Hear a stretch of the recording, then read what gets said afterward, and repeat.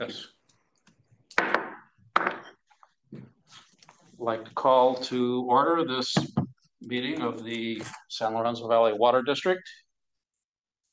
Will the secretary call the roll?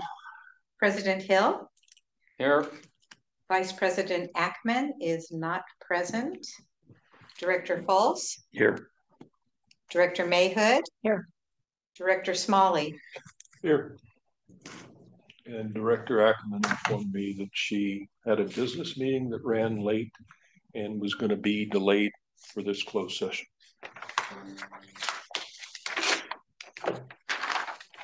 Okay, um. And here she is. Very delayed. Okay, are there any changes to the closed session agenda?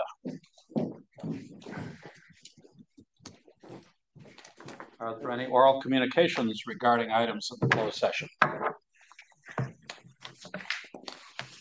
Seeing none in both cases, um, we should adjourn to closed session at this time.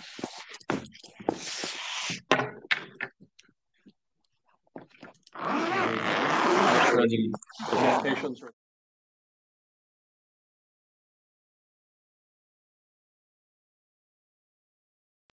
Okay, it is five thirty. And time to get started. Pardon? Six thirty. Six thirty, sorry. It's six thirty, time to get started. Uh, so I will call to order this meeting of the San Lorenzo Valley Water District. Holly, will you please call the roll? President Hill, Present. Vice President Ackman, Present. Director Fultz, Here. Director Mayhood, Here. Director Smolley. Here. Okay. Check my agenda here. We've got roll call. Okay, we did have a closed session. We have nothing to report out from the closed session. So, moving on here. Changes to the agenda. Are there any changes to the agenda? For this evening's meeting? Seeing none. Oral communications. Uh, this portion of the agenda is reserved for oral communications by the public for any subject that lies within the jurisdiction of the district and is not on the agenda. Can be address the board of directors at this time. Presentations may not exceed three minutes in length, and you may speak only once during this period. Please understand that the Brown Act limits what the board can do regarding issues not on the agenda. No action or discussion may occur on issues outside of those already listed on today's agenda. Any director may request that a matter raised during oral communications be placed on a future agenda. We have two people that are attendees remotely that are, have their hand raised. It's Elaine Fresco and Jim Moser. Okay, I don't see that here, so what am I missing? CTV, can you please promote Jeff Hill to a panelist? Can I show you? Can you pull up the bottom? Pull- Maybe, maybe I've got it here. Hit join this Join this panel. panelist, there we go. Just- Okay. So then I'll show you where you look. So if you click on participants, the little arrow next to participants. Yes, And then you'll see the hands raised. If you go over to attendees, you have to click on attendees. attendees. There you go. And you can see the hands are raised. Okay, so, um, do either of you two have a, Recording in progress. please? Need to Um, um, my name's Everett Downs. click your sound and turn your sound off on your. So my name is Everett Downs. Uh, I live in Belton. Oh, it is Um, there. Had service from folks. Have been there since uh, around two thousand nineteen, maybe ninety-nine or so. Um, as of that time, I was required to put a sprinkler system in my home. And because of that, I was required to put a one-inch meter at my facility. Now it's just my wife and I and a dog that live there. And so our water usage is about the same as a typical resident in San Lorenzo Valley. However, um, looking over the rates, right now, we're only paying about eighteen dollars more per month for fixed charges than everybody else.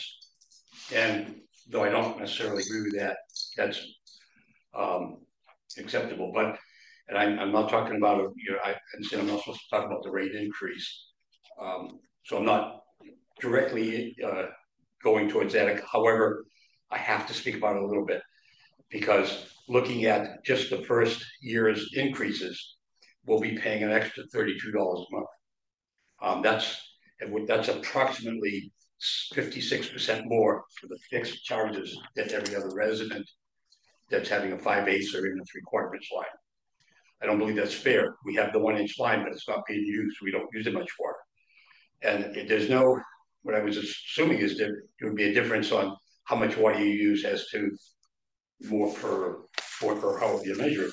But looking at it, other than unless you get a real heavy user, there's no difference. So again, we're just using the rates and paying the rates of a resident, except for these added fees for no good reason, other than the county maybe put a one inch meter there. Um, and so I, uh, I spoke with somebody at the office today, and, uh, I understand it can't be on the agenda today, because you already got your agenda. But I'm gonna request, I, I made, what I'm saying here, I made seven copies, I didn't know how many people would be here and whether you want them. Uh, okay. Um, it has my contact information on it, but what I'm here to do today, I guess, is basically to request that, uh, this becomes an agenda item that we can discuss in more detail at a future meeting. Because I think there's inequities, and the other part of this is that I discovered also that the people who lost homes here, they're gonna be stuck with that same problem. Here they were living in a home and all of a sudden they're gonna have an extra 50 60 dollars that they pay for water for no other good reason other than there's a different size meter there. So there isn't an inequity. If somebody has a, a one inch meter for a reason, I understand that. But, you know, for, for usage reasons, but, um, so anyway, that's, it's very simple. I, I think it's unfair and I think it should be re, relooked at. Um, it's my understanding that this is a decision that's made by you folks, not the board of supervisors. At least that's what I've been read. Because I would take this up to the board of supervisors, if I don't think they have jurisdiction, you folks decide who pays what for the tree. Anyway, that's my Thank you. speech. Thank you for the time. Can I just respond? Any I'm sorry? questions? Can I just respond? Yeah. I, I just wanted to let you know that there, and, and, you know, we can consider agendizing this, but there will be future meetings where we take up the rate increase discussion where it would be perfectly appropriate for you to come and participate. Um, we'll have a public hearing on this in February. I know there will be a public outreach meeting where you can learn more later this month. So, so while we don't have it on this agenda, we are going to be taking up the rate increase No, I discussion. understand that, I know that. Um, and actually, the, the inequity is already in place before you ever, even if you don't approve those rate increases. I'm already paying more than the average person for a retired couple who just drink water and take a bath. So, thank you. Thank you. I, I guess if you would consider putting it on agenda, I guess I would be contacted. Is that true? How does that work? Uh, I think that the, we don't typically contact individuals about a- agenda items, but you are, we, we meet every two weeks and our agendas always go up usually by the Monday before our meeting on the Thursday. So you, you would need to check and just make, see when the item is agendized. But I would be curious, and Brian, I'm not expecting you to answer this tonight, but uh, why is the county requiring, I mean, I don't know why in your case that was required, but why is the county requiring one inch meters for certain, for fire service? You, you need, you need a certain flow rate if the sprinkler systems would ever go off. They can't That get are that through a five smaller eighths. medium would service. Got it. Okay. Um, Okay, let's, let's move on. Uh, thank you very much, sir. Um, Elaine Fresco, And do I have to click on this now? or- No. Oh. Elaine, are you there?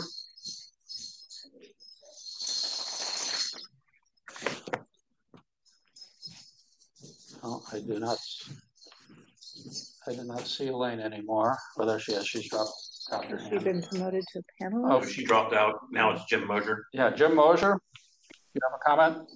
Uh, can you hear me, Elaine? Oh, Okay. okay. Yeah. Now you're Oh, back. yes. All right. Um, hi, everybody. I just have a quick item to discuss with you. I own a few um, rentals in the valley, and of course, I pay the water bills, and so I get all the water bills every month.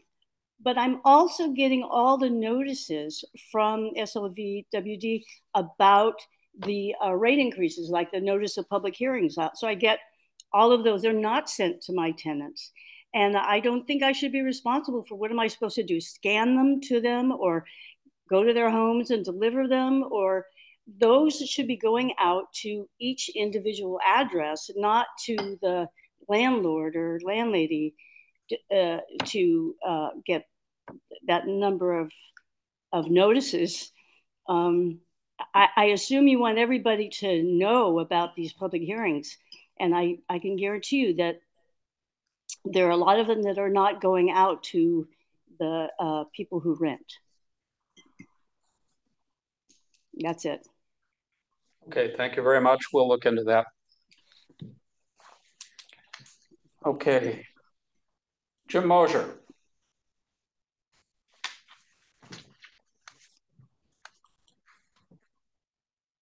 I think, there we go. Can you hear me now? Yes. Um, so I am speaking to alert ratepayers and the board and staff that the Friends of San Lorenzo Valley Water has prepared an extensive frequently asked questions document regarding uh, SLVWD's proposed rate, uh, new rate increase and rate structure. Our group reviewed the notice of, of Prop 18 public hearing that the district sent out, as well as the district's FAQs available on the website, and determined that they did not adequately address the district's current financial picture, the rationale for the rate increase and new rate structure, and its impact on ratepayers. In particular, the materials do not show the impact of the proposed tiered rate structure on differing categories of ratepayers. That rate that heavy water users in the summer months, those with large gardens and pools and other summer water uses, will be experiencing much higher rate increases than others. Um, by using averages, you uh, you underestimate the impact of, of those uh, with heavy use during the summer. And that was part of the intent uh, of doing the tiered rates uh, that we discussed in the Budget and Finance Committee. Our intent in doing these documents is to augment the district's materials and do not intend these as a criticism of either the board or staff. We recognize the intense pressure the district is facing with the departure of senior staff and the many challenges the staff is addressing with the multiple repairs and upgrades that are in process in addition to the rate study. Uh, the, the FAQs are available at our website, www.friendsofsanlorenzovalley.org in the hot topics click. We would also like to encourage the board to put on the future agenda uh, an examination of the rate assistance program for uh, low income residents who are going to have a hard time dealing with this rate increase. And uh, as per the letter that we submitted to the board Uh, uh, in December, uh, hope that you will uh, consider increasing that, the financial benefits for low-income residents, and ratepayers, so that it will lessen the, the adverse impact on, on those of us in the Valley who are facing financial challenges, particularly uh, seniors in with fixed incomes. Thank you. Thank you, Jim. We will look at your uh, materials and uh, respond as appropriate. Okay, moving on. Uh, unfinished business, we have none on the agenda. New business, uh, we have three items listed as new business. Comprehensive financial report for the fiscal year, Alta Via pipeline replacement project, contract change orders, and board committee assignments. Um, so let's start with a comprehensive financial fiscal report. Uh, Brian, would uh, you care to present that for our staff? Sure. I'm um, going to go ahead and um, this report will be delivered by Heather uh, and her consultant who's prepared the uh, presentation. So they'll, together they'll be making the presentation for everybody. Thank, thank you, Brian. Good evening, board. I am Heather I. Paletti. I am um, the district's interim finance director. And tonight, um, the presentation will primarily be given by our uh, representative from our audit auditing firm, the Fedak and Brown LLP, Jonathan Abadesco. And um, your motion um, before you tonight is to approve the financial statements for fiscal year 22-23. And I do want to point out one typo in the report in the environmental impact section. Um, the proposed action is an administrative activity of the district, not a city. And with that brief introduction, I'm going to turn the presentation over to Jonathan. Yeah, thanks, Heather, for that uh, nice introduction. And uh, regarding that uh, minor correction, we will make the change on the final uh, issued report. Thank you. Okay. So should I share my screen or somebody somebody will share uh, the screen? Um, Jonathan, if you could share your screen, that'd be that'd be great. Yeah, I'll do that. Thank, Thank you. you. Thank you. Yeah, yeah.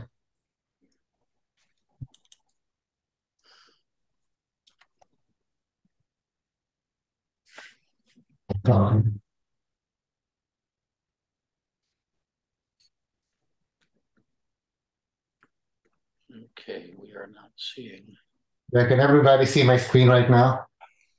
Yes. Okay. So here's the uh, uh, San Lorenzo Valley um, financial statement presentation for fiscal year 23. Okay, so if uh, so, here's the uh, professional guidance that we follow. So our audit process is governed by American Institute of C- CPAs or Certified Public Accountants um, auditing standards.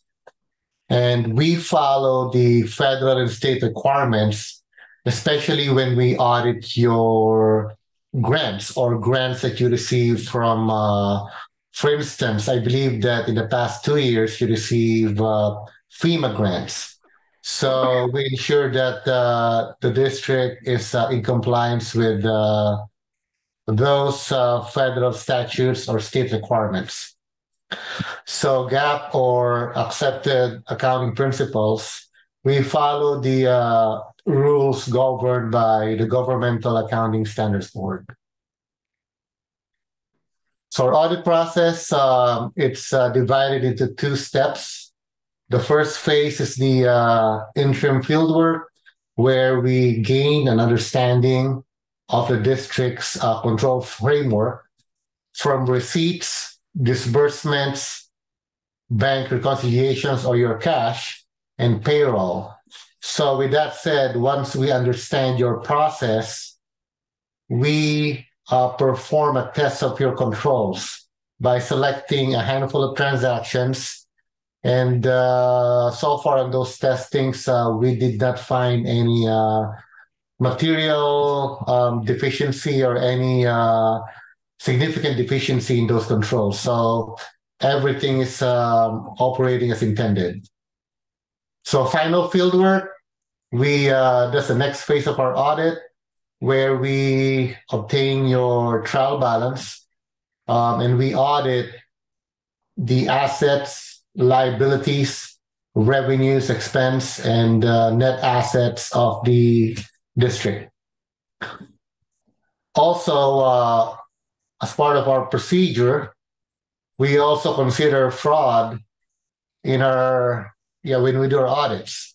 So keep in mind that we always have a professional skepticism mindset, meaning that this means that uh, when we are presented documents, we question them, review them, and we audit them. We don't just rely on what management uh, provides to us. And uh, lastly, we always do an interview of board and uh, management um, every year.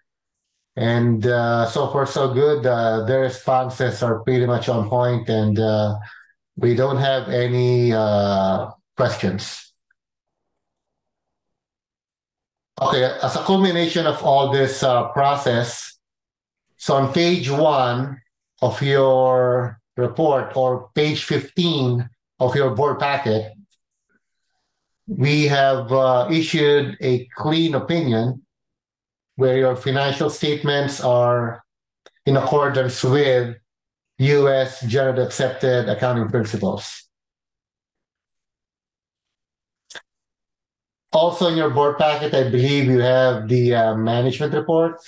So the management report just uh, summarizes our communication with the board in terms of uh, management that uh, we don't have any difficulties encountered when we perform the audit. There were no disagreements with management, and uh, we did not consult with outside CPAs.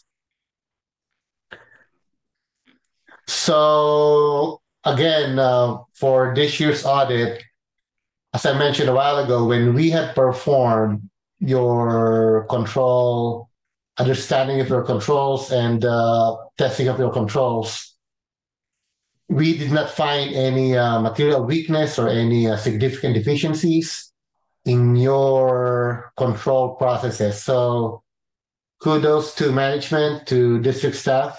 Um, you all did a great job.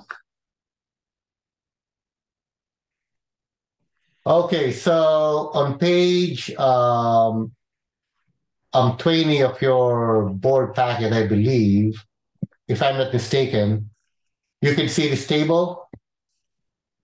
So this table shows you the uh, financial position or or the balance sheet, which is equivalent to the private sectors. So with this said, so your current assets, it uh, decreased by uh, $2.5 million. The reason being is that uh, the district had several um, capital projects during the year, which I believe includes the uh, Alta Via main project and the uh, Redwood Tank project, which, yeah, where the costs spent was shifted as part of the uh, increase in um, as part of the increase in your capital assets. Um, your um, current liabilities, it uh, increased by uh, $2 million due to uh, timing of payments of uh, accounts payable, which can be attributed to the uh, capital projects you have during the year. Your non-current liabilities, it increased by close to $1.9 million so the reason the reason behind the increase was um, your net pension liability from CalPERS increased as compared to the prior year. So the reason behind the increase was um, there was a uh, investment uh, loss incurred by CalPERS in the prior year, which was the basis of their uh, report. And uh, moving, uh, do you have any questions so far on this uh, page? Should I uh, continue? Please do. Okay. So your total revenues, it um, increased by $614,000. The primary reason behind the increase was um, your non-operating revenues, which consist consisted of your um, investment returns being up by approximately uh, $550,000 and your property taxes increasing by $60,000 compared to the prior year. Your um, operating revenue or your water sales is uh, pretty much consistent during the year. It uh, just decreased by a small amount due to the uh, state drought mandate in the prior year. Sorry, in the current year, sorry.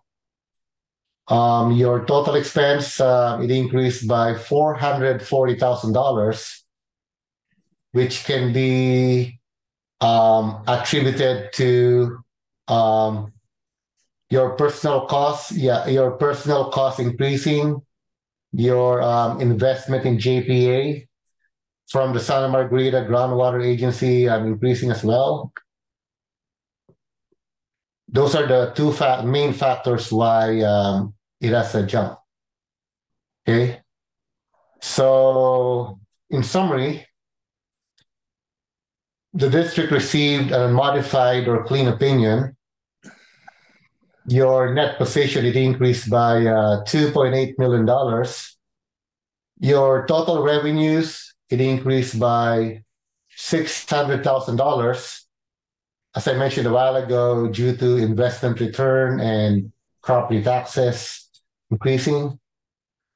And your total expense, it increased by four hundred forty thousand dollars due to uh personnel costs, change in investment in JPA, and uh, some capital asset disposals during the year. And uh, that concludes my uh, presentation. So any questions that uh, the board may have on the report or any public members that had some questions? Okay, so I will walk through the board here and ask each of you if you have questions. Bob, start with you. I have no questions, but I have comments, so we could do those later. That's fine. Yeah. We can comment. We'll do questions and comments. Okay, because I don't want to hold him up because my comments aren't related to what he is here for. Keep in mind here that what's on the table is whether or not the report is an accurate representation of what's going on. So, Uh, It's, it's the report Yeah. and everything that is in it. yes. The comments I have, we don't need him for, to be here for Okay. this. Yeah. Okay, so Um, Gail, do you have well, I- like Bob, it's kind of both things, but let me just point out uh, an additional error I found on um, page um, 10 or 25 of the agenda where they refer to the um, Boulder Creek fire as being one of the conditions affecting financial position. And um, obviously that should be the CZU fire.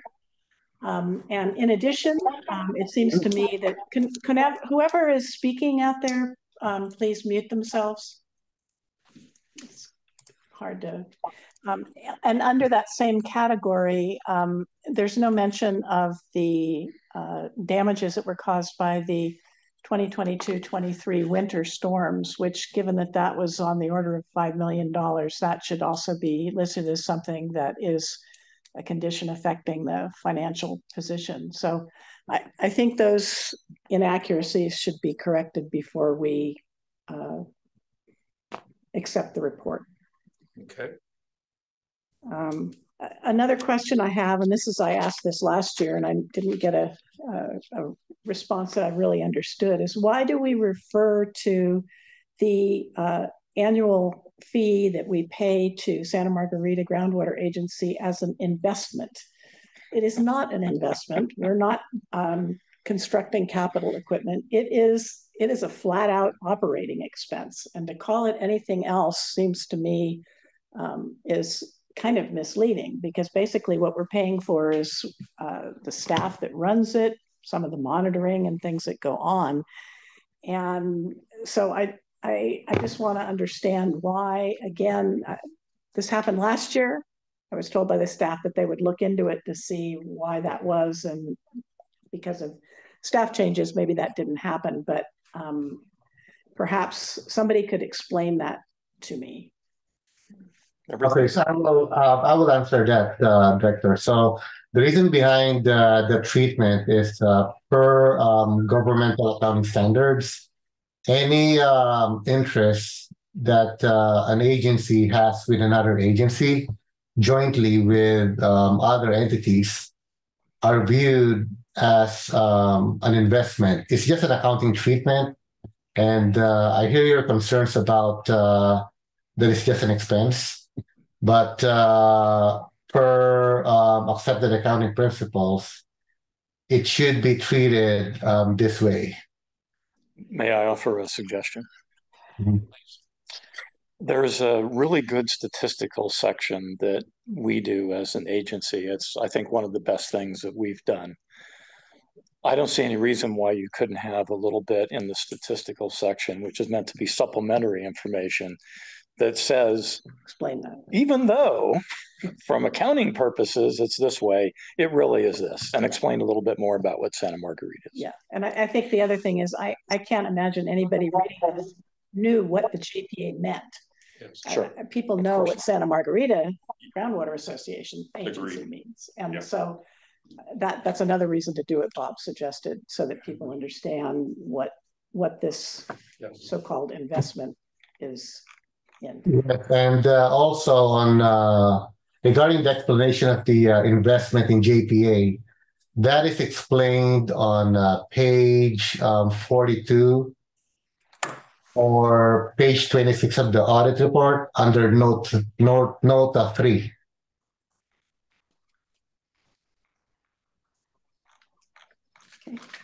Um, anything else I have to ask is probably best asked of this, our staff. Okay. Okay. Thank you. Jamie? Um, can you tell me, uh, how many years have we been conducting a CAFR audit? How many years worth of audits do we have?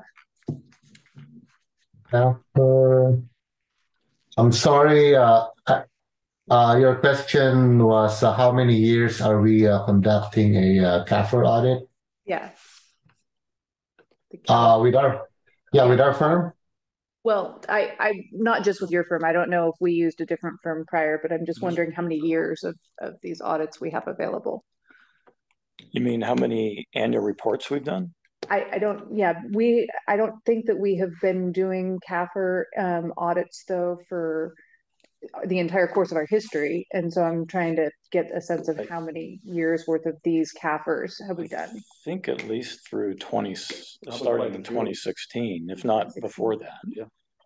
I mean, we have annual It's been reports. Since I've been here that Yeah. we started. Yeah, we, we have annual reports that go back further than that online, but I Right. think it was twenty fifteen or twenty sixteen that we started doing a more comprehensive and formal.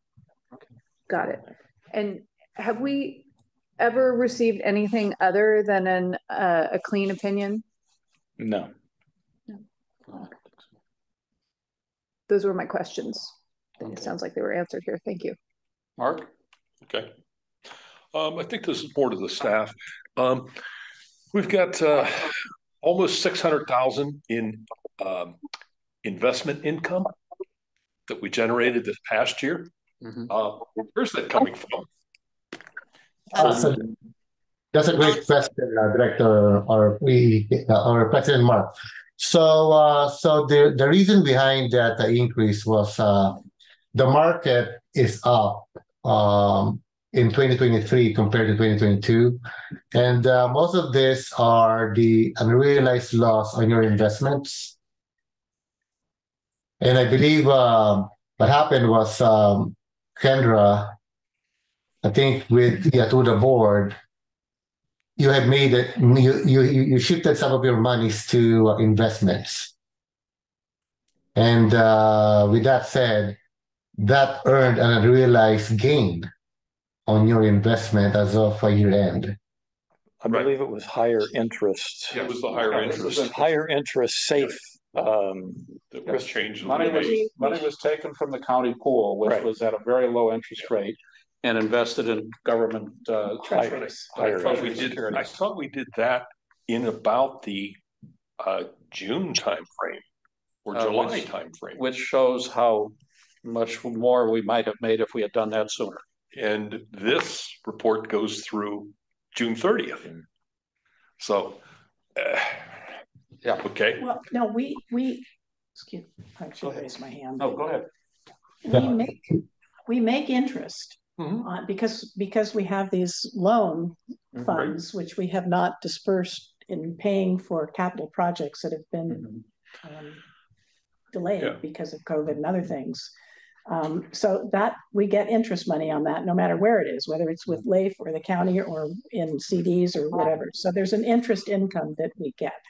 And that is separate from, that's totally separate from the issue of us taking some of the money out of the county and putting it in uh, treasuries. Yeah, out of the interest, but Jo- Jonathan, I think Jonathan can explain a little bit better. There's Okay. a fair, there's an annual fair market adjustment that is done. And I believe that that's what Jonathan was, was trying to say that was causing a lot of the increase. Jonathan, am I right? Yes, uh, let me explain to you. So I have the, uh, I pulled up the uh, working trial balance of the district. So the uh, seven hundred three thousand dollars um, that is part of the investment return consisted of uh, interest in investments of uh, four hundred forty three thousand dollars, um, you have an interest um, dividend from your T-bills of uh, forty-seven thousand dollars. And uh, you have an unrealized gain on the fair market value of the investments of two hundred thirteen thousand dollars. Got it. Okay. Okay. That, That that makes- is a that makes gas. sense. Yeah, that is, that is an accounting standard requirement. And Yeah. sometimes your interest, your interest revenue, or your, excuse me, your investment earnings will look like you received a decrease, but it's not a realized loss. In this case, this year, most agencies received a gain because of that, that, that accounting standard or fair market value adjustment. Yeah, well said, Heather. So, so, so, um, the unrealized gain or loss works like a paper gain or loss. So until you sell that investments, that's the time that you will realize that gain. Okay. Yeah. Okay. Yeah. Okay. So I can Thank you. Yeah. Um, a, a comment on page nine where it lists the directors. Uh, we're all now elected as of, uh, uh, November, This, this, well, November, actually yeah. December when we took office. yes. So if you could change that, and, uh, there was only one president last year, not the two that are shown here. So if you can make that change also. Um, on page twenty, I see the very clear statement. It's asking the question. Uh, the mission is that this audit was trying to, is the district better off or worse off as a result of this year's activities? Um, and I see that as a very clear question that the audit poses. But then I look for the answer. It's not there. So if we're gonna, if you're going to ask a question like that, there should be a, I feel, a corresponding, and here's what we conclude. So can you address that?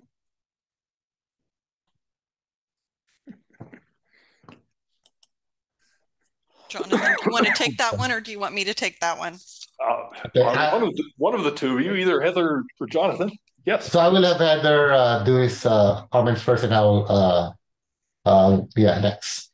I- i- in my opinion, and I'm gonna, I'm gonna actually refer to my report is as in, let's see, where is it? Net position increased by seven percent. So in my, in my opinion, the district is better off this year than they were last year. So that is Okay. my opinion all to I'm- answer to your all I'm looking question. for in there. Point of order. Okay, so, yeah, okay, so Heather, uh, uh, so I second your uh, thought process. So you're correct that the, the district is better off this year compared to last year, especially when um, 2023, uh, you have a state mandate or state mandated drought. So had uh, the state did not post any uh, state uh, mandated drought, you would have earned more revenues in 2023 than uh, last year. Okay, um, we Okay. hold for a second. Brian, you had, I just, point of order is, Yes. just please, when staff is answering the question, please allow them to finish answering Okay, before interrupting. It's Yes. just a common courtesy. thank you. Thank you. Okay. Um, and on page eighty-eight, uh, where we refer to the pension liabilities, I'm not sure if you addressed this already. Um, I see from twenty eighteen to twenty twenty-one, pension liabilities are in the four million plus uh, number. Twenty-two, it drops down significantly. Um, and then twenty twenty-three, it comes up somewhat. Uh, what's the reason for the significant drop in that?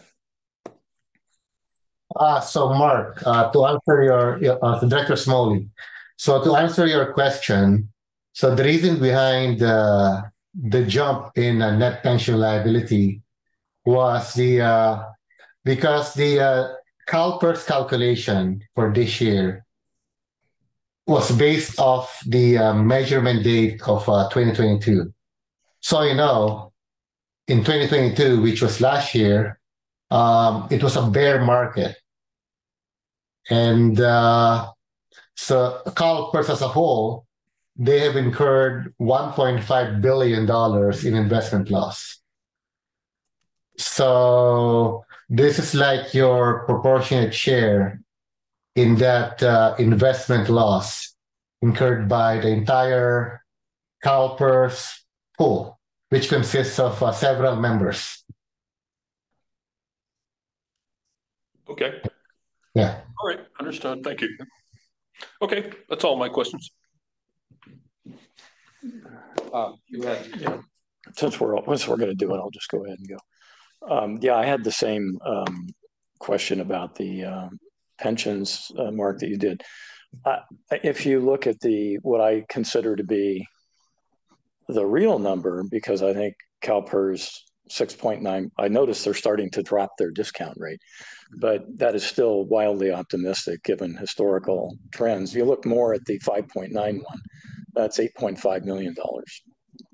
But given that it's gone up and down like that, I think our structural deficit is probably somewhere in the two to three million, um, which we're not really addressing in any way. And we do pay a seven percent tax every year um, on our unre- I mean, it's a. I mean, they're effectively up until this last year, they were effectively loan sharking us because we're um, we're paying their hurdle rate for investments, even though no one is getting anywhere close to that over a period of time. Mhm. So until we address the structural deficit that we have in our pension fund, we're we're going to see these swings as the market uh, changes. Um, I did want to say, though, on the good news side, that we only have, and the uh, and the Felton people have only four more years of payments on their um, on their acquisition of the system. So the the glide path is is definitely coming in, and uh, we will see that shortly.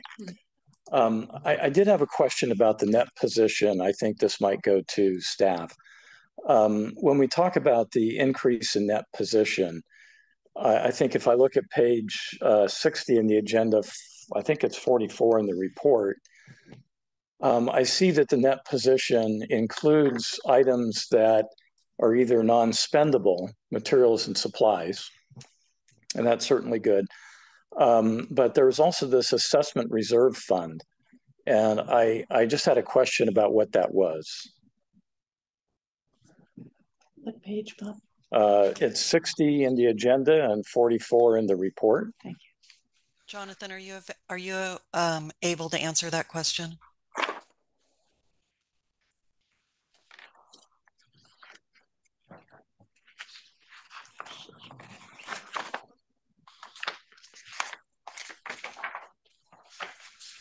I would be only guessing. If you'd Well, like I'm me to, guess- gu- I'd, I'd rather not guess. Yeah, no, I understand that. And perhaps it might be something that's accrued for a payment that's going to be made. I, you know, reserve funds like that typically I don't view in my head as unrestricted, even though from an accounting point of view they may be. Um, so, so Bob, which one of these numbers was, were you looking at again? the uh, assessment reserve fund. Okay, thank you. So anyway, if you net those out, um, the actual cash that is spendable net, and this gets to my next point, um, actually went down um, by half million, it looks like. I mean, I'm just looking at the line, spendable net position. And this sort of gets to where I think there's another section that needs to be added, perhaps in the statistical section, around our reserve position.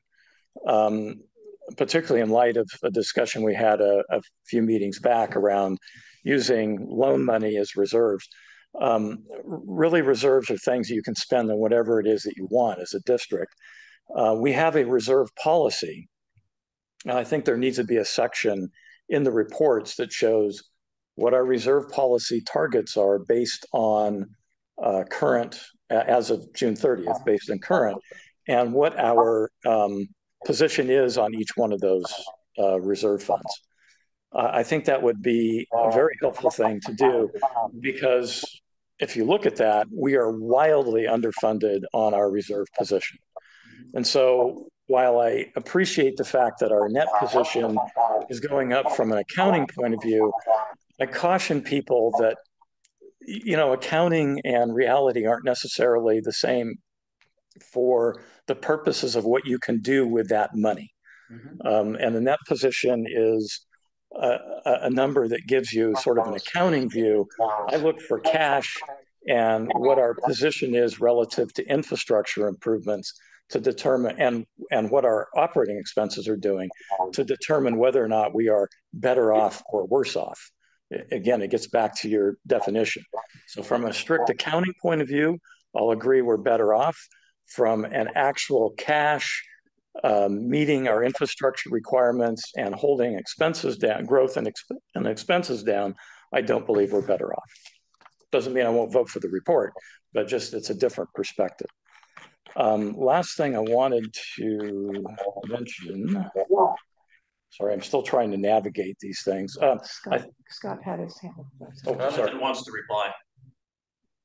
Okay, so sorry. I finally uh, found the uh, the uh, yeah the assessment reserve fund. So those are your uh, yeah because on your cash um, accounts, you have two accounts. One for the uh, Lompico assessment and, and one for the Olympia assessment, which are, I believe, um, it was all. Um, these are these are these accounts are designated for those uh, purposes only. So that's why it's called uh, spendable only for that purpose. it's not un, it's not unrestricted in that sense then. Even though no, it's, under, it's, it's under the unrestricted se- section it looks like. Yes, it's under the unrestricted section, but, but uh, it's only can be used for the uh, towards the assessment reserve fund. Yeah. Yeah, because yeah. Mm-hmm. sounds like restricted to me. Well, I, I, mean, again, it's accounting versus yeah. you know what it is you do in a day-to-day operational point of view. Yeah, yeah we do not want to spend. Certainly, the Olympia money needs to go to pay the Olympia loan the assessment district has been, quote, spent, what does that mean from the fact that they're still contributing money or not? There's still right. debt payments. Yeah, there's still debt payments. And so that money actually probably goes into a capital fund or something. Anyway, um, also wanted to talk a little bit about the population numbers. Um, so I, I'm a little concerned about the population numbers that we put in here because I think they also are used for calculating what our position is relative to water usage on a per person per day basis. Uh, the number that's in here, I think, is about 19. Page. Oh, sorry, uh, 66 in the report, 89 in the agenda.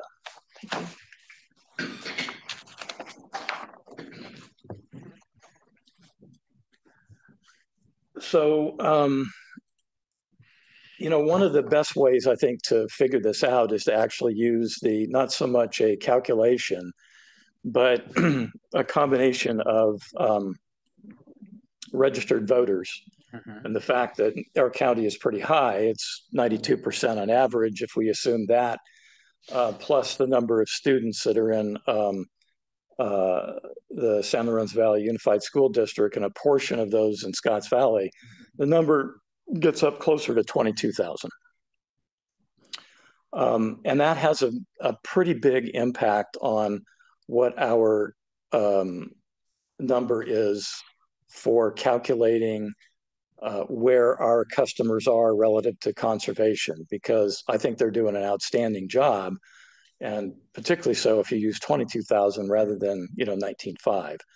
Um, I'd like us to take a closer look at coming up with a real number that we can all agree on uh, when it comes to this because the numbers I've seen numbers sort of all over the place depending on on the report and I think we need to get to a unified number that we can agree on and a methodology for calculating it.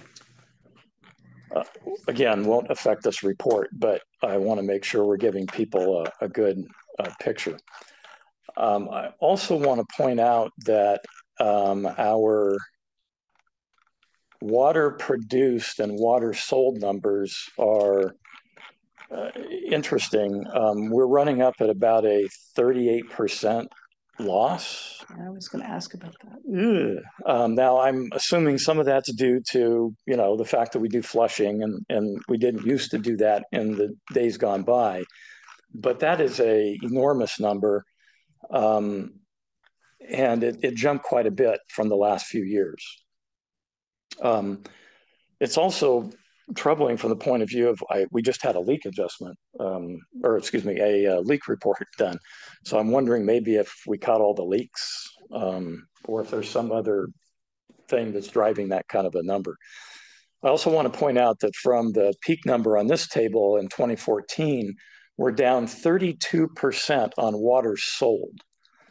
So that means that, that the capacity that we have today, the infrastructure, treatment plants, storage tanks, water lines, everything that goes into the cost structure for rates is carrying 32% less water than it did 10 years ago. If you want to use water produced, it's carrying 17% less. Um, that is a extraordinary number. Um, I think it goes a long way to pointing out how much uh, our customers are saving. But I think it also shows, if you look at the percent loss, we're actually the district itself is one of the biggest offenders of that relative to the state of our infrastructure. And that's another reason why we need to really be focused on that. Um, I think Which, that, which page are you on there, Bob? oh, on the, uh, 82 of the agenda, 59 of the Yeah. report. Yeah. So this is one reason why I think the statistical section is just absolutely fabulous because it gives us a historical view of um, a lot of really key metrics in the um, in the district. Things that, from an operational point of view, are much more important. Um, the financials, as Jamie says, we've never had an unclean opinion. It's always been clean. I'm never worried about it from an accounting point of view, but these numbers are where I really focus a lot of attention because they go to the heart of how we're operating and managing the district. That's it. Thanks. If I could ask Uh, a follow-up. yes, please, Mark. Um, since Bob mentioned the water loss, I did have that noted here also. Uh, Brian, last year, we had asked uh, our previous general manager for a water audit. Um, it- we never saw that. Um, is that something that you and staff could take on and bring to the board at some point this year? So that we could understand better where this thirty-eight percent water loss is? So that we have some idea, you know, how, how much do you guess is tanks, how much do you guess is this? Sir?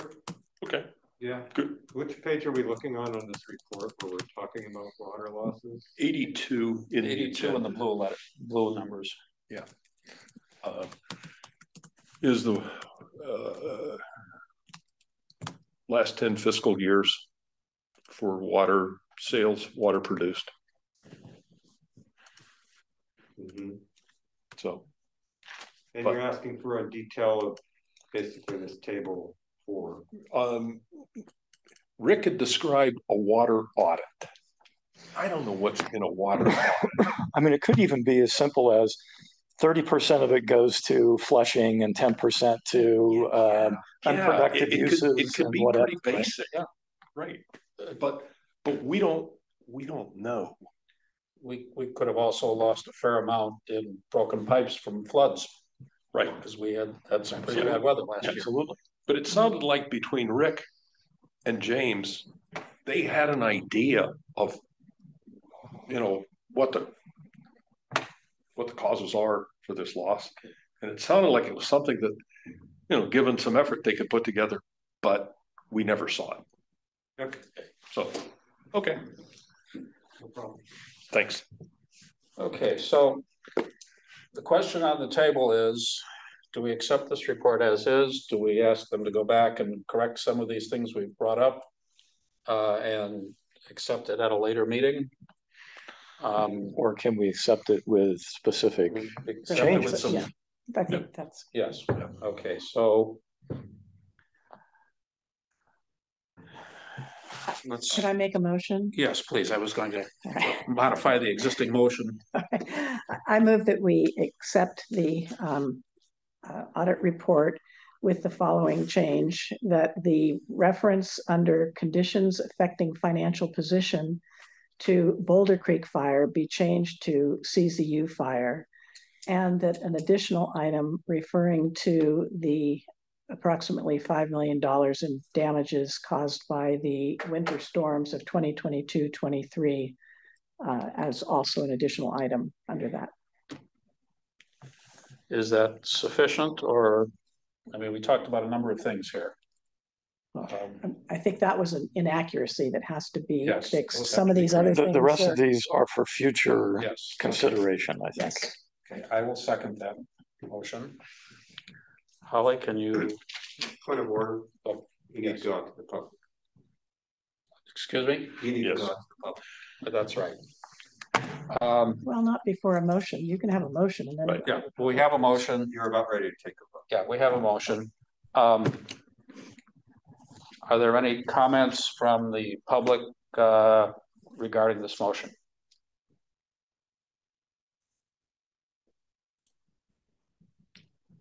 Okay, seeing none, I'll second that motion. okay, Director Mayhood made. seeing none, I think we can proceed to uh a vote. Holly? President Hill, Yes, Vice President Ackman? Yes. Director Fultz, Yes, Director Mayhood, Yes, Director Smolley. Yes, thank you. Motion carries. Thank you. Thank you, Jonathan. Thank you, Jonathan. Yeah, thank you so much for having me tonight and uh, happy new year to all and uh, have a great evening. thank you. Thank you. Thank you. Bye-bye. Bye.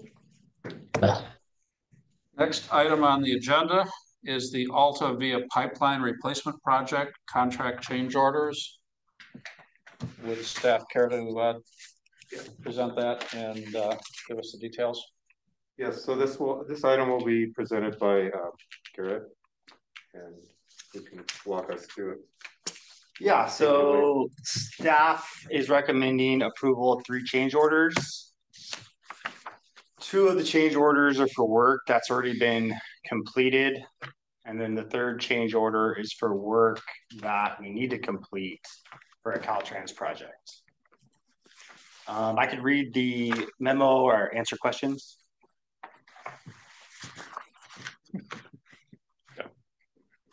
Dale?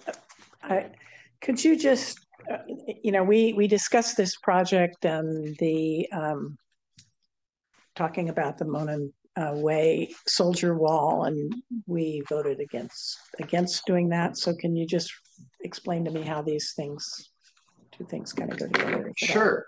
Yeah, so the culvert repair was at the location of the retaining wall. And the temporary bridge installation is at the location of the retaining wall. but not the permanent solution. It's not a permanent solution. Yeah, solution, okay, correct? all right. So that's still, I guess what I'm asking is, was the last time we discussed this, we sort of said, go away, think about it again, come back with another solution, but it sounds like we still don't have a solution yet. Is that? Or, That's a different uh, option and that's not on the memo here.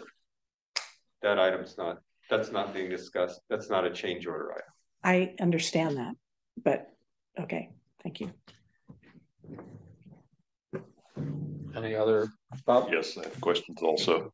I, I think these are pretty, I mean, uh, I, I'll get to a procedural one later. This, the, the two of these actually look pretty minimal.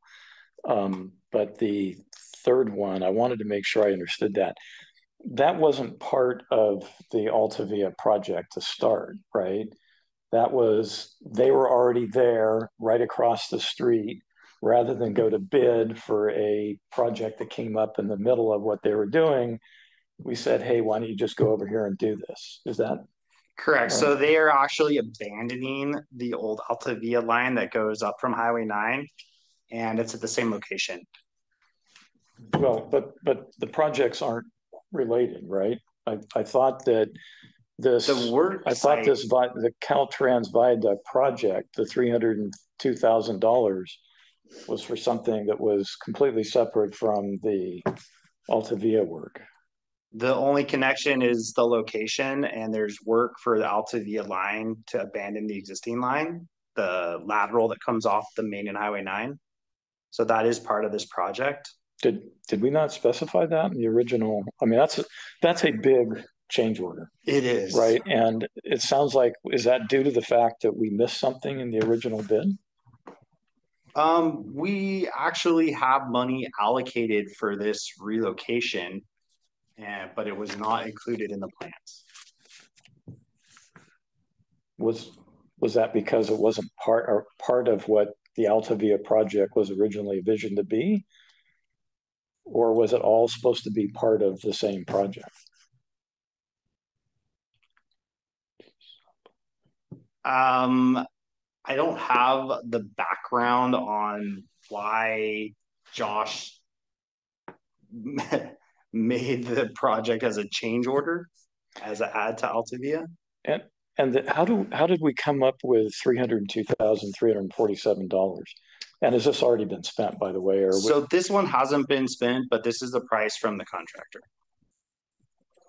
Okay, So maybe, let me take a stab at answering this. My understanding is this. This is related to the project because it's the same pipeline, et cetera, that we're dealing with, that we are under contract with. It was not in the contract documents. But Caltrans came along after the fact and said, hey, we need you to relocate your line. We have the contractor there. It's related enough to the project that I could see, it's like, okay, yes, we could actually justify this as a change order under the same project. Rather than inventing a new project and going out to bid and going through all that. Whereas it's related enough and within the scope of work enough that we could say, yes, we could do it under a change order.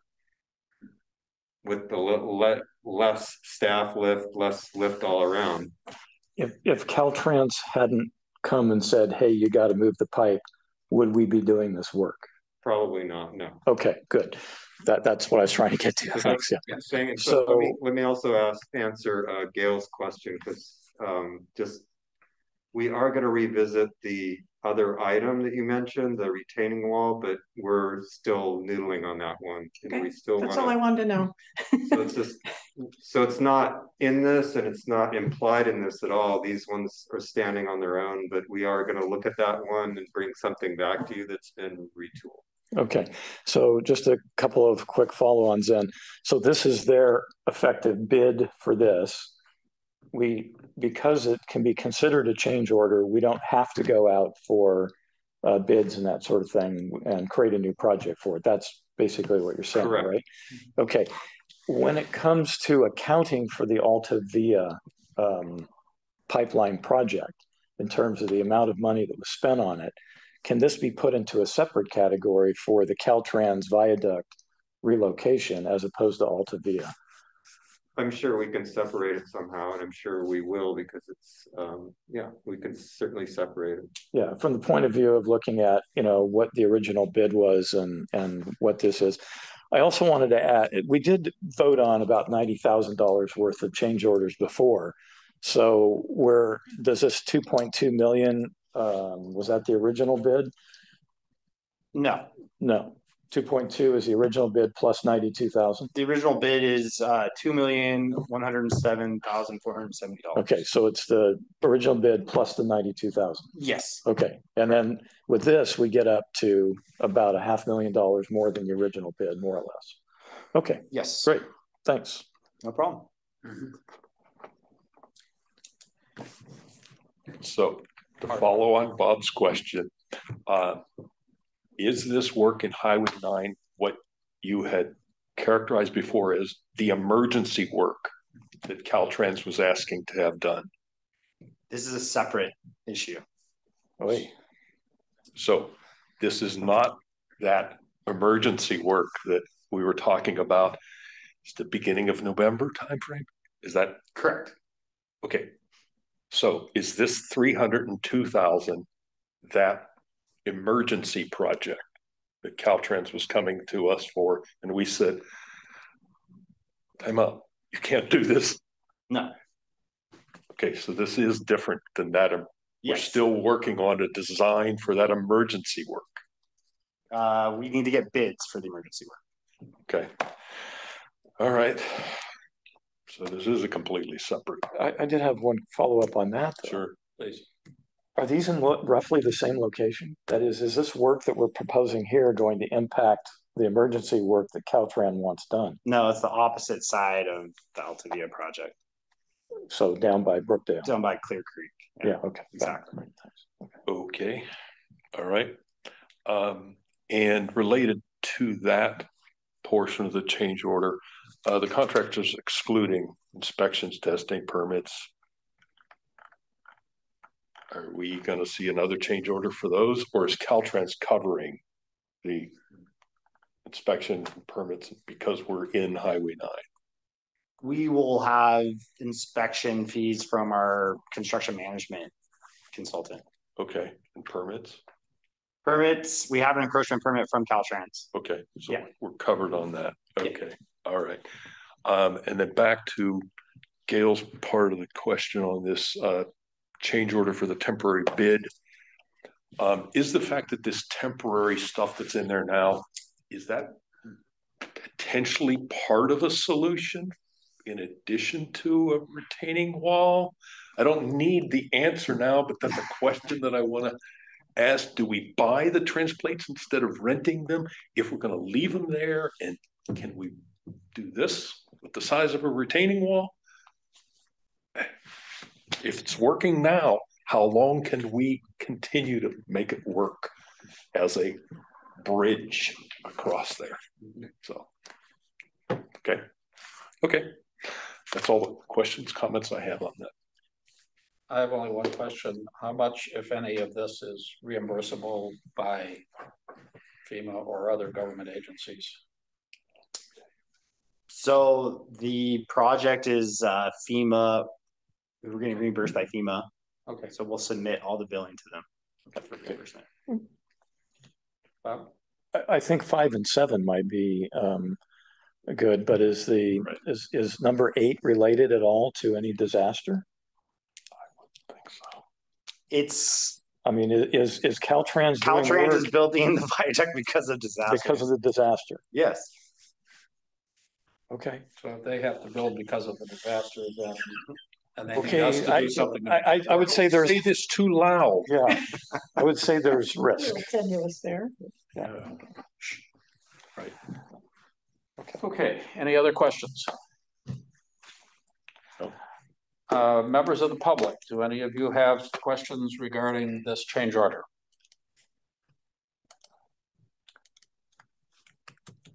I do not see any hands up.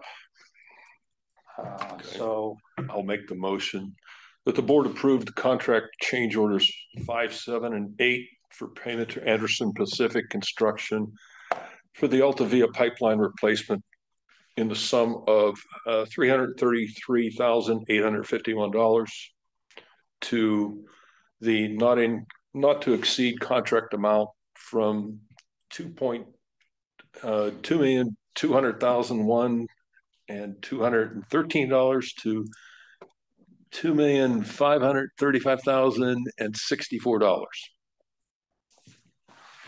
Period. is there a second? Second. Holly, will you call a vote? President Hill, Yes? Vice President Ackman, Yes. Director Fultz, Yes. Director Mayhood, Yes. Director Smolley. Yes. Motion passes. Thank you all. Okay, the next item on the agenda is board committee assignments for twenty twenty-four. And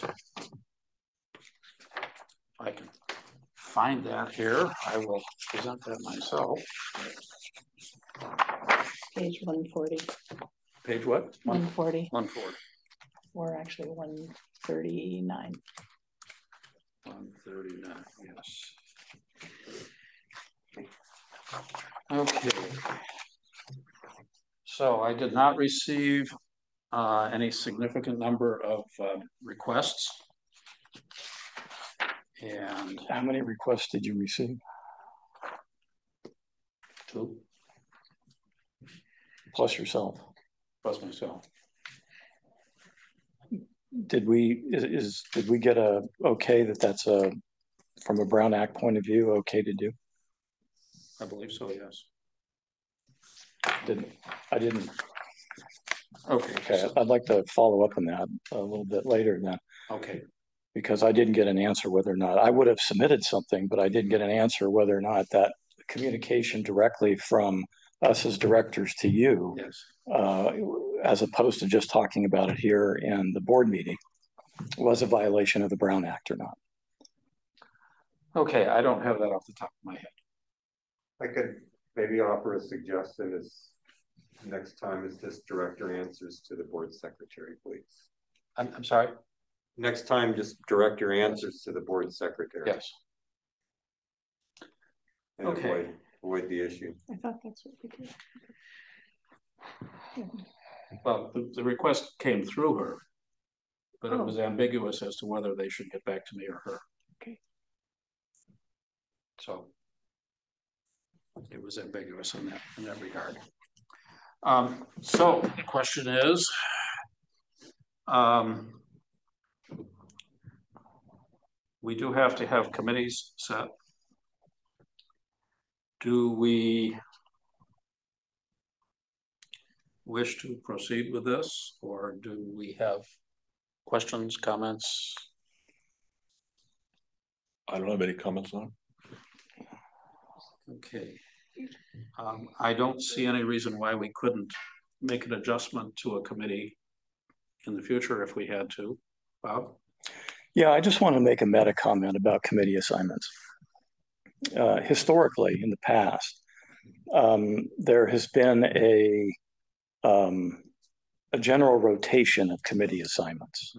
That is where where people would, in, in order to get a better feel for all aspects of the uh, district and its operations, that that board members would move through committee assignments.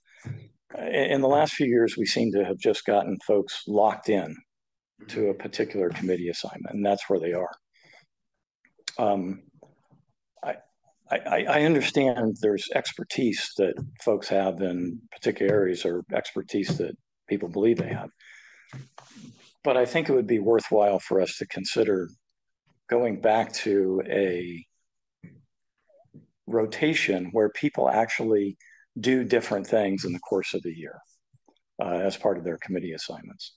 So Uh, so that in the- rotating within the year? Well, not necessarily within the year, but for the four-year term, that they're not in the same committee for four years. Yeah. Um, I think that would be uh, a better service to the district, better visibility for the uh, board members.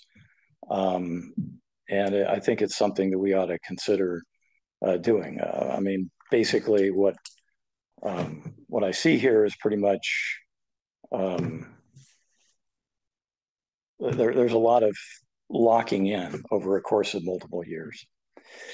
So that's my that's again my historical, you know, meta comment about about this. I also want to mention that the motion also needs to include what the committee size is. Right. So Okay. So, let's see here. Where am I? Jeff, would you like me to make a motion? Yes, please. Okay.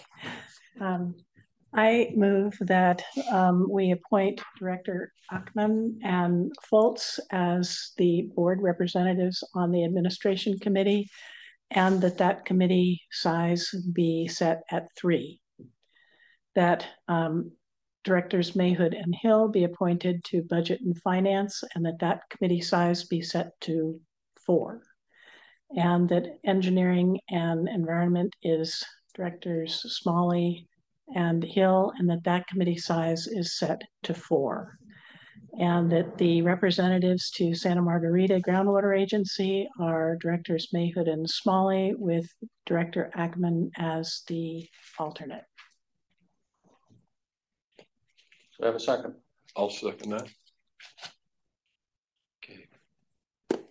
Do we have any further discussion among the board on that? Do we have any comments from the public on those assignments?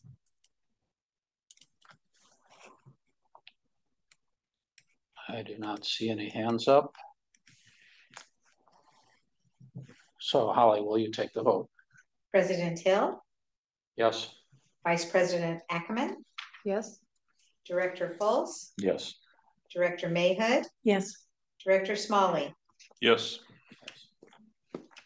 Motion passed. Could I, just com- to follow up, Holly, what, what's the plan in terms of arranging for the first meetings or, you know? what- Tomorrow, I will be sending out an email to each of the committees, every person that's on it, asking them if they are available for, I'll put out some specific dates. And um, then once those, uh, once each committee has a date and uh, a- each person can attend, they will then uh, meet and decide on their uh, monthly meeting time and go over those sorts of things. So we want to do that in January if we can, so. So the first as meeting would be in January? Hopefully, Yeah, yes. That's That, that, I- that's why I asked is because we've got the outreach for Prop two eighteen and, and that hearing. And so I, I would hope that the admin and budget and finance meet before. Mhm. Okay, great. Thank you so much. Okay, um. So we uh have finished the active items on the agenda. We have the um. Consent. Items to consider next. Thank you, Scott. Um, I understand, Bob, you had some, Yeah, I'll be uh, pulling A and B off of that. Uh, C, I will not pull because we got an updated um, uh, agenda which had the um, Mhm. agreement. I was reluctant to, Bob, have it pass through. up, Please, I can't hear what you're sorry, saying. um, pulling the um, Redwood Park Pipeline Replacement Project and Fall Creek Fish Ladder Rehabilitation Project from the um, consent agenda. I did have one question about the long line agreement. Then you have to pull it. Okay, even if I have a question about it, oh, sorry, Just pull- because, Just pull it. yeah, all right, we'll do that then. Okay, okay, so, um. I do not know the process at this So you point. don't have to vote on the rest. So now you Yeah, just. the rest we don't have to vote on, Yeah, So now we just and we'll have to bring these back. sequentially, now you just go through the three that Bob pulled. Okay, Actually, if I may, um, I believe you vote on the remaining consent item as one. yes, item. No, you- no, we do not. That's not our practice. It's, it's a consent item and you don't have to vote. Nobody objects. Um, Actually, I found out that that's what we have been, we're supposed to be doing.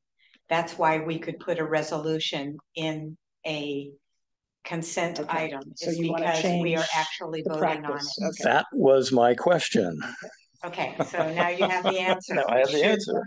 We do need to vote on the rest of the items on the consent agenda. but we don't have to vote on it individually. No, just as, as the consent agi- agenda items eleven E, eleven F, and eleven G are um going Can to I- be can I- voted approved. Can I with, can I withdraw my uh, pulling a C with that answer?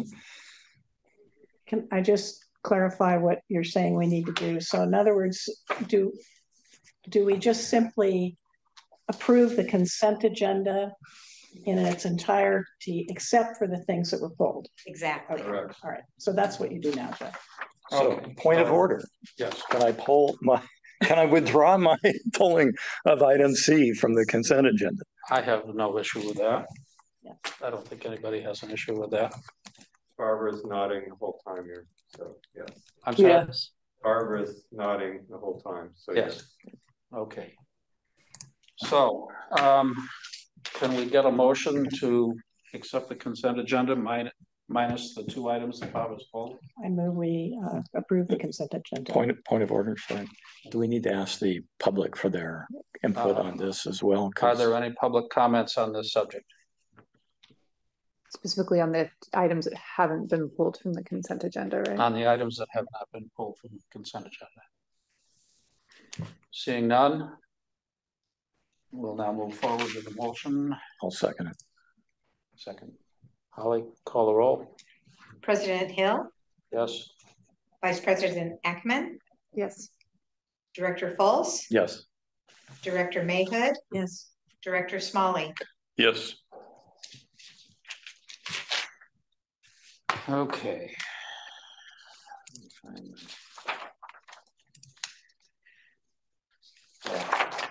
Too much paper. Redwood, Redwood Tank, Redwood Park, I'm sorry? Redwood Park. That's what we're gonna do. I can't hear you. Redwood Park is the first one. Okay.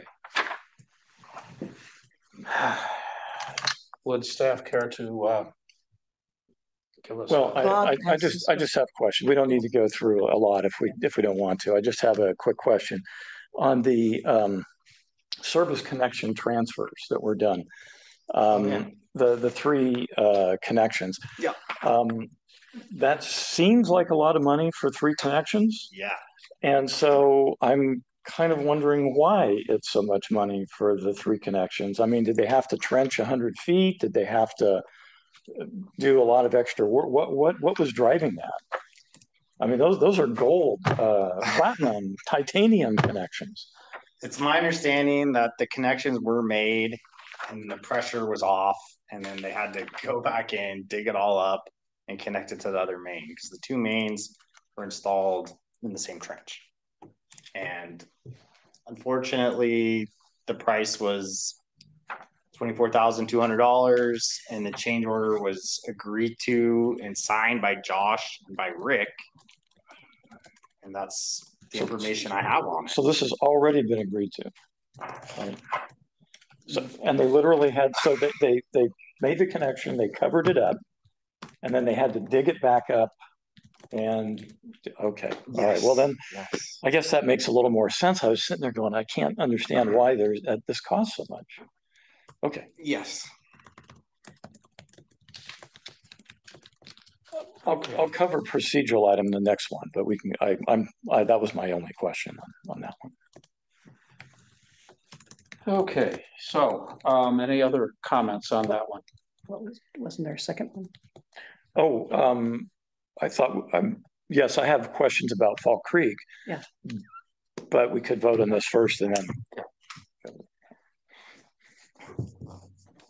Does anyone in the public have any comments on the Redwood Park Pipeline Project Contract Change Order in the amount of twenty-four thousand dollars and twenty-four thousand two hundred dollars?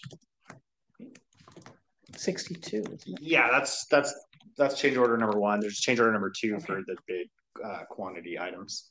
Okay, Yeah, So the motion is for both, though, right? correct. The motion Can I motion, read the motion? yes, please. Press any key to continue this conference. I move that the board approve contract change orders one and two for payment to Easy Construction, Inc. for the Redwood Park Pipeline Replacement Project in the sum of sixty-two thousand nine hundred, increasing the not to exceed contract amount from four, five hundred four, seven, six hundred and one to six hundred and ten, five thousand five oh one. Second, I'll second that. any further discussion from the board? Any discussion or comments from the public? Oh. Holly, call a vote? President Hill, Yes? Vice President Ackman? Yes. Director Fultz? yes. Director Mayhood, Yes. Director Smolley. Yes. Motion passes. Okay. Now. Moving on to the Fall Creek Fish Ladder Rehabilitation Project.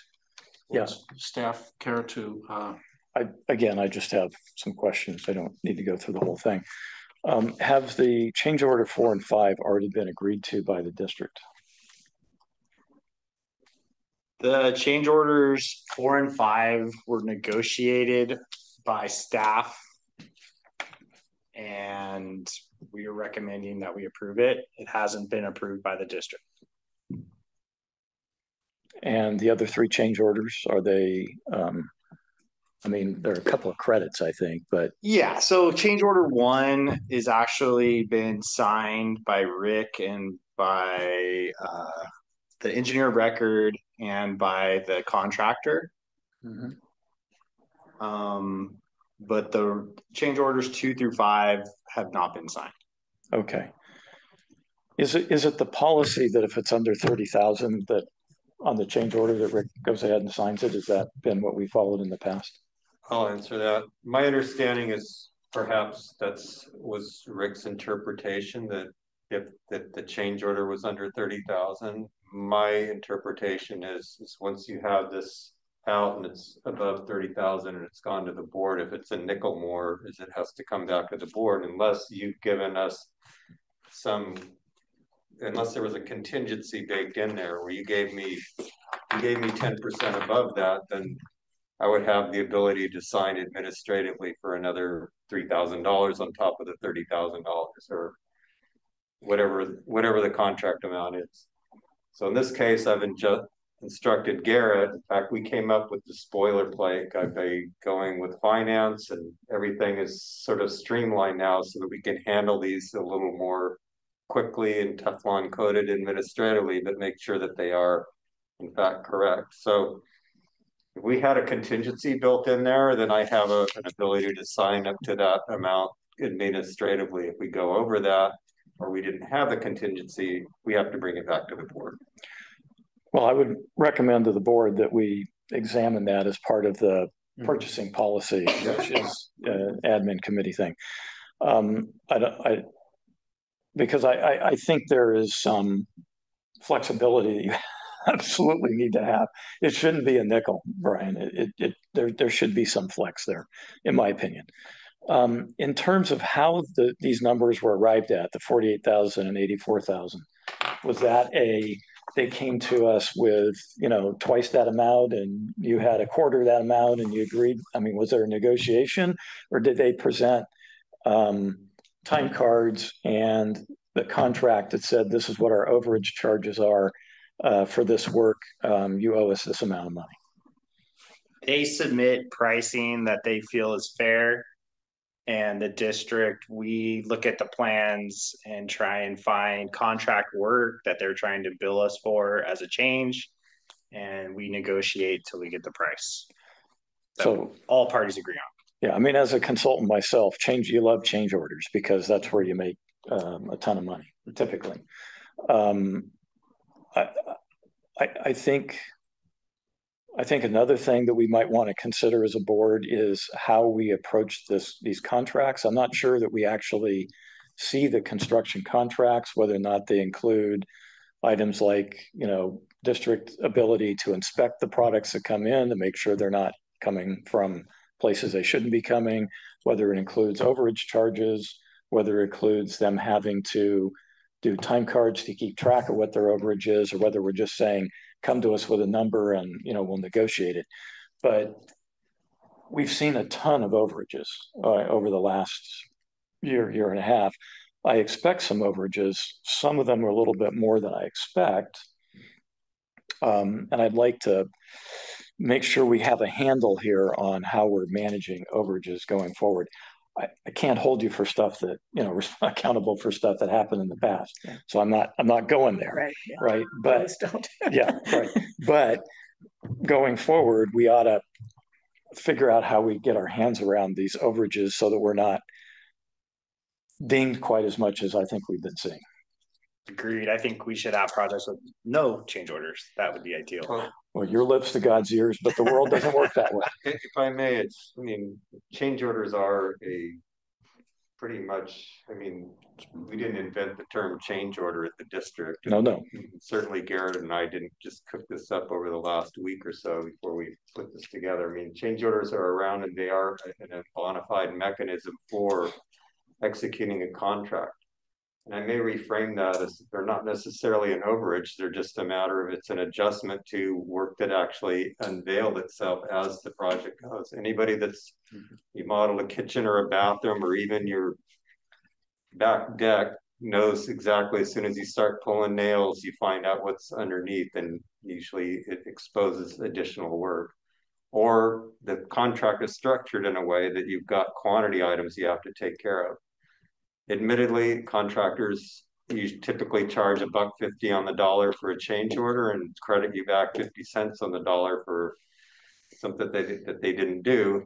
This and it is for us to try to muscle them as much as we can. Sometimes we have that ability to flex our muscles, and other times we don't. And that's the simple, unfortunate reality.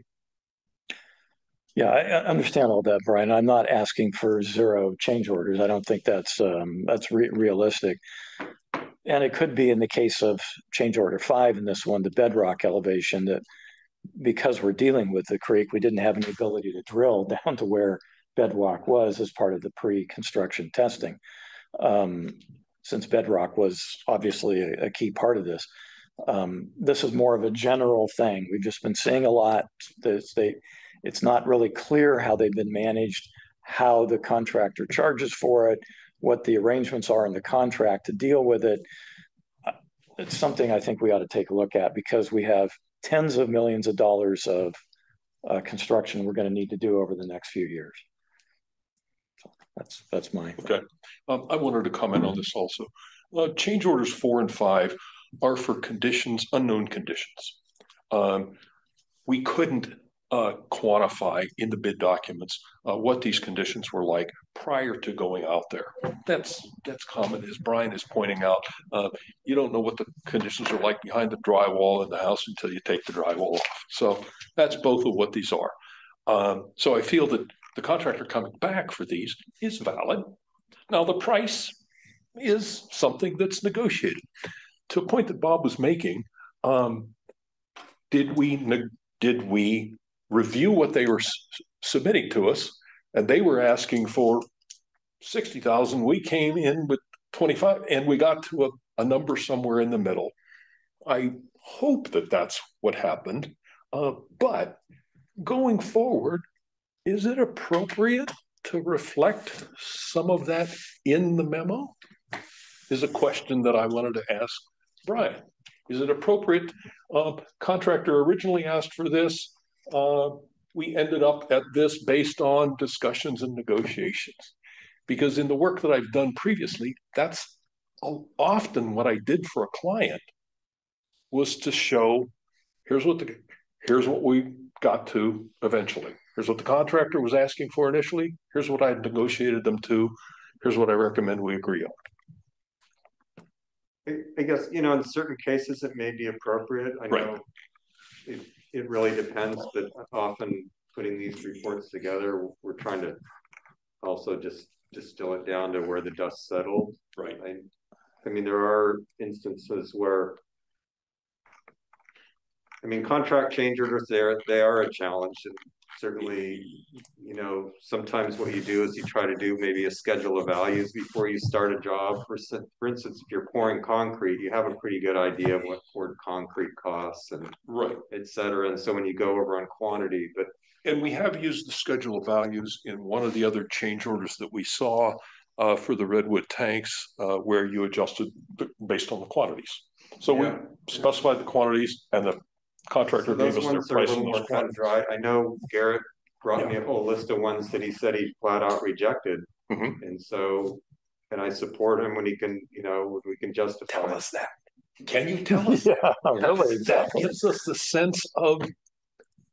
Sure, you know, like I said, it's you know, for us, it's like we're also in the throes of trying to get projects done. Right. So the primary goal right now is actually to spend money um, honestly, spend that borrowed money so that. well, it's like we're paying we're paying interest on money that's just sitting there, and, and Yes. if we're not getting it Yes, spent, and the other one is just.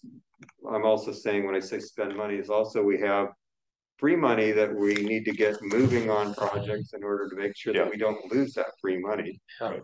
Meaning grants or FEMA or whatever.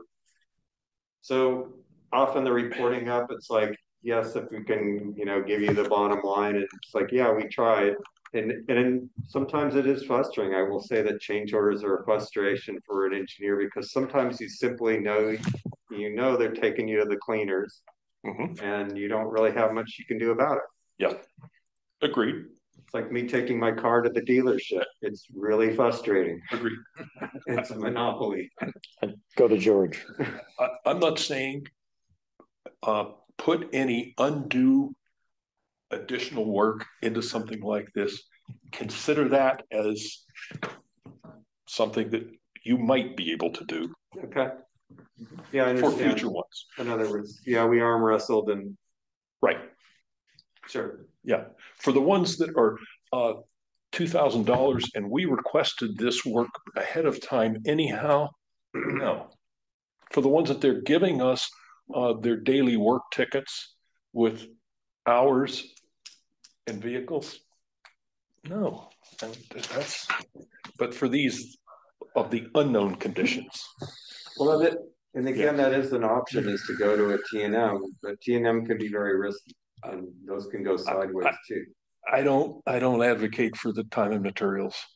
Well, sometimes in one case, we just made a decision to go that way Yeah. because we didn't like the lump sum price.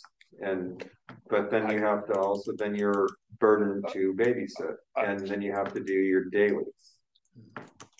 I want that to be staff's call. Right. I don't, you make those kind of decisions, yeah.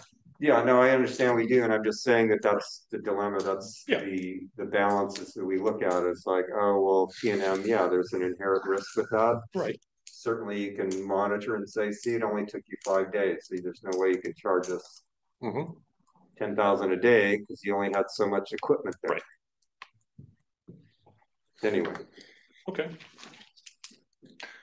Okay, so we need a motion to Then accept this. I'll make the motion that the board approve the contract change orders, um, one through five for payment to, uh, Siblon. Siblon, Siblon reconstruction for the Fall Creek Fish Ladder Rehabilitation Project in the amount of one hundred twenty-three thousand, six hundred twenty-seven dollars, increasing the not to exceed contract from two million, three hundred sixty-five, seven hundred twenty to two million, four hundred eighty-nine and thirty, three hundred and forty-seven dollars. Period. Second, Second. I'll second that. to your second. We Need public comment? President Hill? Now, is anybody, do we have a public, any public comment on this one? Nope. Have to ask. Uh, go ahead, Holly. President Hill? Yes, Vice President Ackman? Yes. Director Fultz? Yes. Director Mayhood? Yes. Director Smolley? Yes.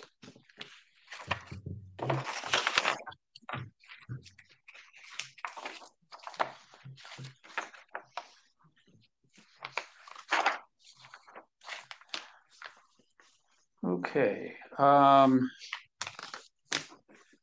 District reports. We have no district reports. Uh, Brian, would you like to take a moment and give us your thoughts on frequency of district reports? Uh, Anything on that? Okay, so we discussed this amongst the management group, et cetera. So what we'd like to do is, is I know at one time, I guess we, up to now, we've been doing monthlies, but we'd like to go back to quarterly reports, mean, at least from each of the engineering, environmental, et cetera.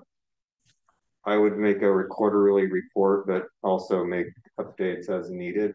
If there's something more urgent that needs to be brought to the attention, but that was, that was the consensus amongst, um, staff.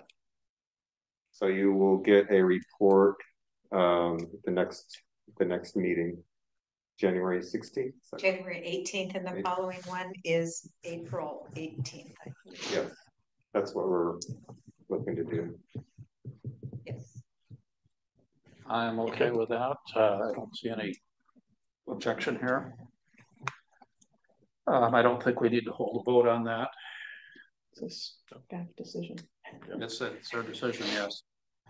Um, written communications, we had an email sent to the board of directors from Big Basin Public Water Initiative. Um, and a letter from Big Basin Water customers. Um, I think we, at this point, should just acknowledge that we received that. Do we need to, I mean, they're coming to us with a request. Yes. Do we at least need to agendize it to hear what they have in mind? Um, I'm happy with that. We can agendize it for the next meeting. Uh, we, none of us have had sufficient time to really digest what they're requesting at this point, so. President, if I may just make a suggestion is, um, and Director Fultz, uh, with respect is, in this case, um, the board has made a decision on this, as I know that by putting this letter in our agenda, we've made it public, which allows somebody at the county to also take action on it and follow up with, um, I believe it's um, some sources at the state to try to help and get funding moving for this. My only suggestion really would be to draft a letter for myself and perhaps you could just look it over that just says, this has been the board's position. We've, what we've decided on this issue. However, we do encourage you to reach out and put pressure on your electeds from the state and feds for funding to help your cause because that is how you're going to move this along. I mean, in so many words, basically just put that letter and then have it be, you know, a, uh, anyway, it's a. Uh, I, I, I follow what you're saying. But then it's a um, concerted, you know, it's, it's one consolidated response from all of us that just says that. And I know that there are people working behind the scenes that are, like I said, trying to get funds for this group. And so by having this letter public, because they'd asked me for this letter and I couldn't share it until it became public and now they can use that as more evidence to try to help their cause. I mean, we did get an email from Eric Upal, Senior Water Resources Control Engineer with the Division of Financial Assistance um, at the State Water Board. I don't know if that's any Yeah, we- source of We funds. received some communication. It hasn't fundamentally changed our position, but I think we should acknowledge that we've received the. I think, Go ahead, Jamie. well, I was gonna say that I, I think that we're kind of going beyond, this isn't an agendized item. Right. Yes. So we should, I, I think that what would probably be appropriate is for you to draft the letter that you're suggesting, and then I would uh, leave it to you and, and legal counsel to decide whether it's appropriate to bring it back to us in closed session for further discussion, Mhm. or Closed whether it session. would be an open. It's not closed If, session. if, There's if no it's, justification. if it's a, if it's a letter speaking on behalf of the board, then Right. it needs to come to the board. Yes. Um, and something like this, I think you would be speaking on behalf of the board. At least that's my position. Well, actually, what I'm suggesting is I'm not to say anything on behalf of the board. It's just to Right. say what the board has already, I- already. I, In that case, then that's fine. yeah, I agree. That's, And, that's and, what and my suggestion would be is to, to look for funding, to put pressure for funding. End of story. And there are people working on the rest. And uh, the suggestion on looking for funding isn't something that you're suggesting that we, we, or you and staff are gonna do, correct? Make sure that's clear. Yes, It is, There, yes, yes, okay, that's it. Yes. That's the, but it's just then that it's saying that we've heard them and Right. Pointing out what the board is already reminding them as, as a director, Mhm. Sure, I'm happy to run it by counsel, um, Mhm. but basically I'm just reminding Right. them as a director what we've already decided from the board level. Yep. Yep. So, Okay. So, um. Informational material, public committee members, twenty twenty-four. I don't know if that item I is. think we've already covered I think that. we've covered that in Yeah, my, Discussed my, uh, earlier, Yes. Yeah. putting the, So, Numbers, uh, I believe we are done. Do we have a motion to adjourn? you just can declare it That's without right. objection. We are adjourned. Thank you. we're adjourned at eight eleven P M. Thank you. thank you, Barbara. Thanks, everyone. Thank you.